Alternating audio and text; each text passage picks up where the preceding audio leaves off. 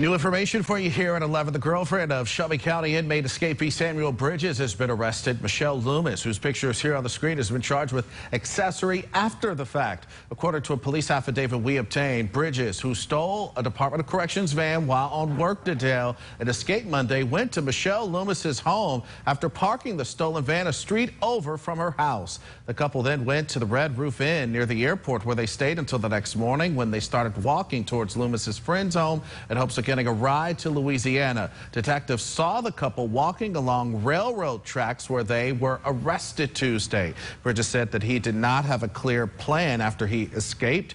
He's now charged with theft and escape.